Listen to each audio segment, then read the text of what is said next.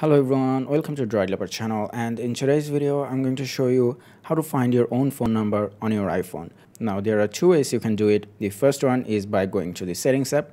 So let's open the settings app and then scroll down until you find the phone app. Here it is.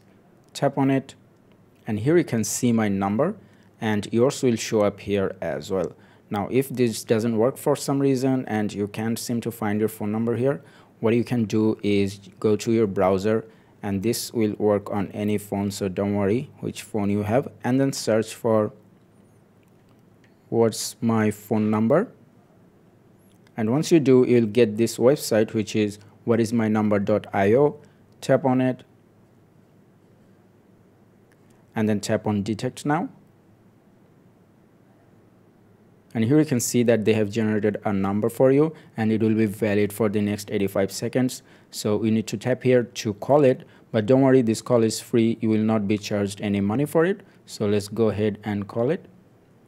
Now you need to wait until the call goes through. It may take a few seconds to about a minute.